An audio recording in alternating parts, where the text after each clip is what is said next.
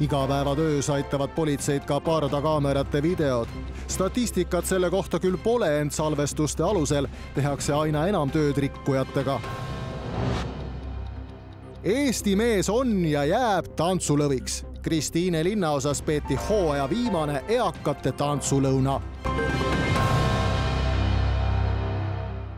tere vaatama Tallinna uudiseid liiklustalgutel trahvis politsei kaks tuhat viissada kiiruseületajat. igapäevatöös aga aitavad politseid ka autokaamerate videod. statistikat selle kohta küll pole, ent nende salvestiste alusel tehakse järjest rohkem tööd ka rikkujatega liiklustalgud said küll läbi, aga ega seepärast rikkujad liiklusest kadunud ole. kiiruseületajad, vales kohas möödasõitjad või muud ohtlike olukordade tekitajad jäävad meile igapäevaliikluses paratamatult silma. Õnneks on autodel üha enam pardakaameraid ja nende videote alusel saab politsei pahategijaga tegeleda.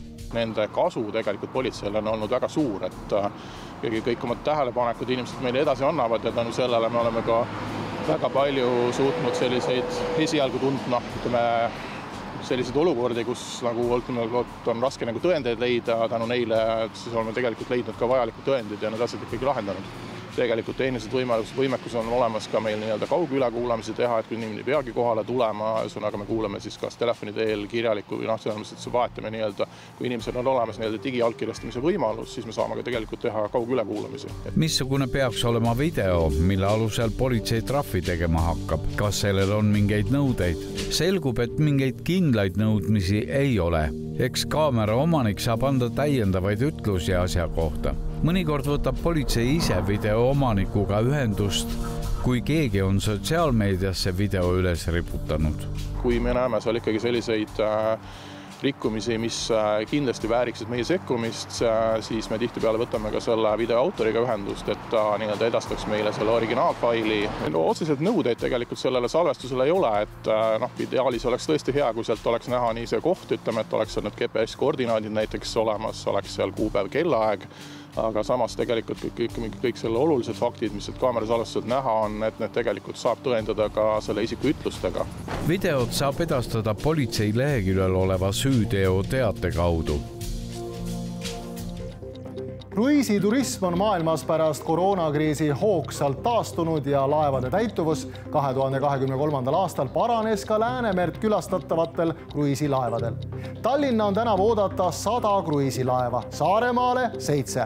kümnendal juulil aga saabuvad Tallinna sadamasse neli kruiisilaeva korraga kruiisisadama kai ääres randus hooaja esimene alus, pardal peamiselt Briti ja USA turistid see meretee ilutus alustas oma teekonda Southamptonist.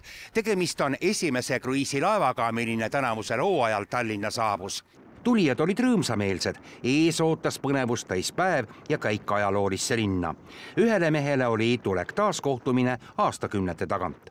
That is beautiful. I've been here once before thirty years ago and I just fell in love with it rahvas suunati kiiresti bussidesse.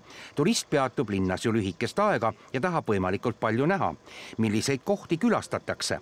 Läheme kohe Toompeale, alustame oma visiiti Lossi platsilt, näitame ära parlamendi, läheme vaatame Kikendi kökki, Neitsi torni, vaateplatvormi operaatorid on reiside planeerimisel ja laevade saatmisel veel ettevaatlikud.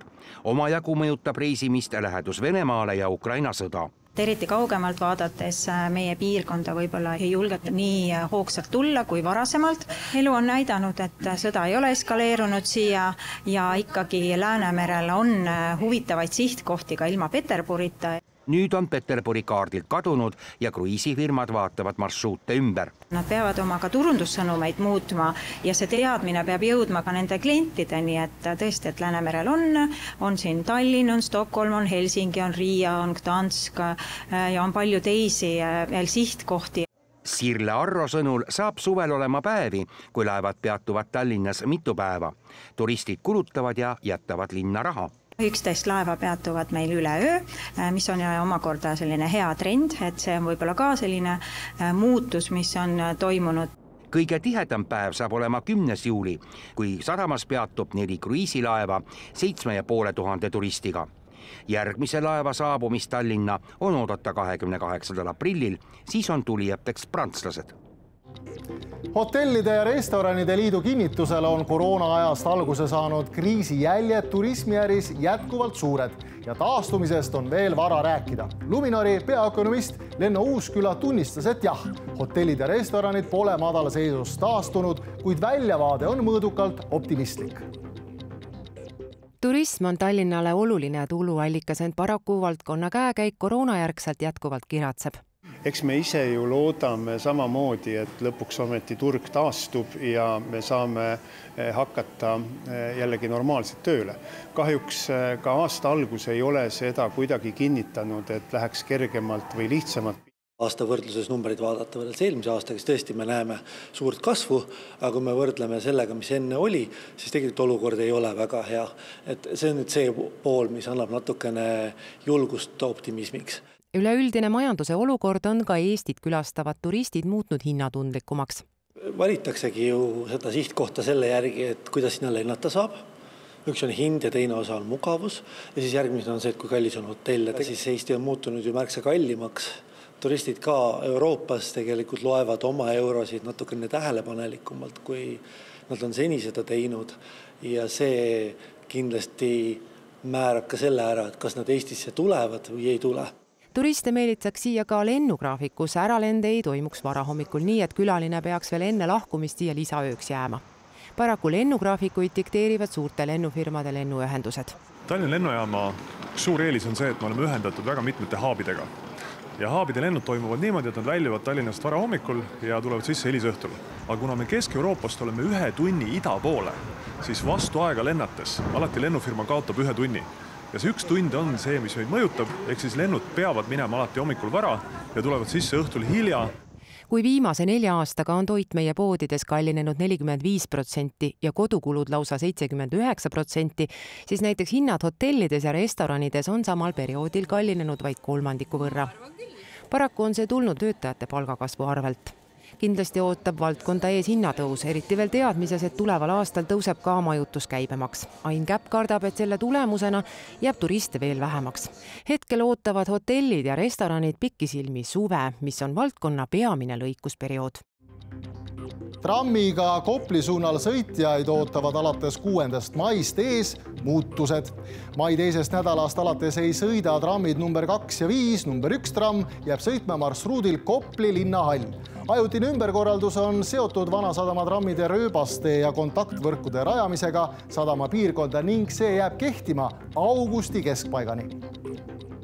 Vanasadama trammitee ehitus on sealmaal, et Põhja puiesteele hakatakse rajama rööbasteed ning selle piirkonna kontaktvõrke, mis tähendab seda, et trammiliiklus sellel lõigul peatatakse kuni augusti keskpaigani. Kopli suunal jääb liikuma vaid üks tramm, mis teeb tagasipöörde vahetult enne linnahalli peatust siia Skoone bastioni ja Põhja puiestee vahelisele alale ongi juba rajatud trammi tagasipöördering ja alates kuuendast maist jääbki Kopli ja ajutise linnahalli peatuse vahele sõitma tramm number üks. Tagasipöörderingiga trammitee ühendamise ajaks mai esimesel nädalavahetusel peatatakse kogu trammiliiklus Kopli ja kesklinna vahel ning marsruudil hakkab sõitma asendusbussiliin number viiskümmend kaks alates kuuendast maist kuni augusti keskpaigani trammid number kaks ja viis ei sõida.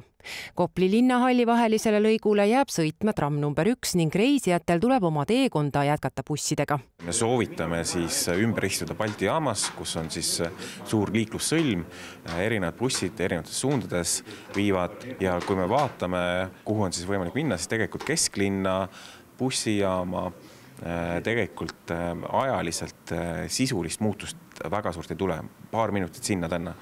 küll on aga need, kes liiguvad Piritale või, või siis Kadriorgu, et neil, neil soovitame rohkem aega varuda, sest näiteks Kopli lõpust kuni Tallinna Ülikoolini, et kui täna sõidate kakskümmend minutit, siis tulevikus sellel ajal kolmkümmend minutit.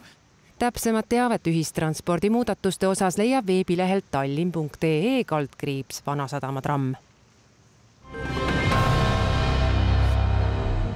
lennukid saavad alates kaheteistkümnendast aprillist Tallinna lennujaamas varasema minimaalse viiesaja viiekümne meetrise raja nähtavuse asemel maanduda nüüd ka minimaalselt kolmesaja meetrise raja nähtavusega ning pilvekõrgusega kolmkümmend meetrit. Tallinna lennujaama on rõõm teatada ja deklareerida, et meie üks tähtsamaid selliseid omadusi ehk siis lennuvälja omadusi on saanud uue taseme ja meil on nüüd võimalus võtta vastu kõiki õhusõidukeid märksa kehvemates ilmastikutingimustes, kui seda oli eelnevalt. nii et see tagab, eks ole, märksa parema lennuohutustaseme ja tõstab ka regulaarsuse, äh, regulaarsust õhusõidukite saabumisel ja väljumisel. vastava sertifikaadi saamise eeldus on instrumentaalmaandumise süsteem ning vajalik tugitaristu lennuväljal nõuetele vastamiseks täiustas lennuliiklusteenindus ka lennujuhtimistorni süsteeme ning väljumiste ja saabumistega seotud protseduure.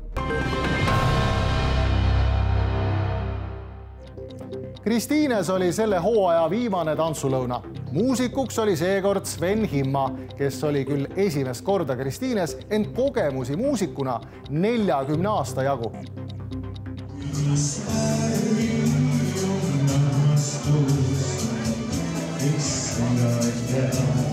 eakate tantsulõuna algab, nagu nimigi ütleb, lõuna ajal ja nagu tantsulõunale omane, täitub tantsupõrand esimeste taktidega tantsijatest. üle valsi ei saa ikka mitte midagi. ja kas see mees oskab nii hästi tantsida? see mees oskab paremini kui mina.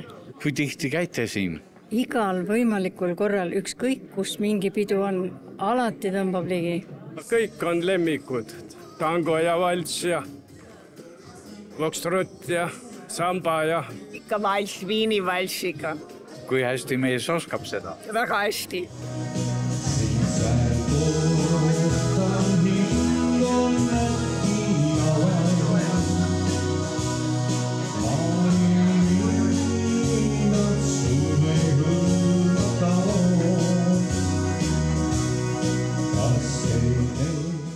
Muusik Sven Himma valis oma kogemusele tuginedes just sellised tantsud, mida seltskonnatantse õppinud inimesed tantsida tahaksid. kuna oli kuulda, et siin on ikkagi sellised äh, eakamad inimesed, siis valisin selle repertuaari just äh, nende heaks, et nad meenutaksid oma lapsepõlve meelislaule kuuekümnendat, seitsmekümnendat aastat me laevade peal oli tihtipeale nii, et pidi pool üheksa olema laval. hommikul oli mingi kaks-kolm tantsusetti ja, ja õhtul kaks-kolm tantsusetti.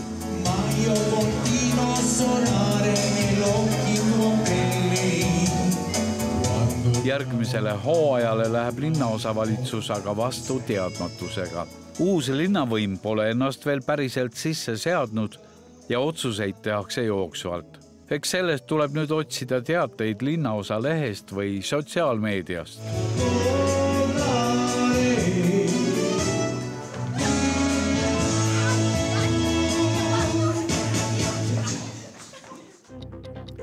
Eesti Uisuliit tegi iluuisutamistreener Anna Levandile esitatud süüdistustes otsuse piirduda hoiatusega uisuliidu komisjon leidis samuti, et suur osa tõsikindlana esitletud etteheiteid osutusid liialdusteks. ilmnes suuri vastuolusid ja osa etteheiteid langes ära, sest asjasse puutuvad inimesed ise ei kinnitanud seda aga Keskkonnaagentuuri teatel tuleb reedel muutliku pilvisusega ilm, kohati sajab vihma, õhutemperatuur seitse kuni kolmteist, rannikul kohati kuni viis kraadi.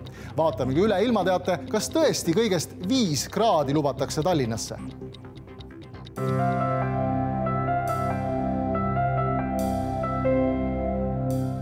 reedel sajab vihma, puhub edela- ja lõunatuul puhanguti kuni üksteist meetrit sekundis, sooja viis kuni üheksa kraadi. laupäeval sajab hoovihma, puhub lõuna- ja edelatuul puhanguti kuni neliteist meetrit sekundis, sooja üheksa kuni kaksteist kraadi. pühapäeval muutliku pilvisusega ilm, kohati sajab vihma, pärastlõunal äikese võimalus, puhub idakaare tuul üks kuni seitse meetrit sekundis, sooja kümme kuni kolmteist kraadi uus nädal aga tervitab meid juba kahekümne ühe kraadise soojaga. head sõbrad, aitäh, et vaatasite Tallinna uudiseid. meie lugudele saate pilgu peale heita ka Youtube'i Linnameedia kanalis. kohtumiseni.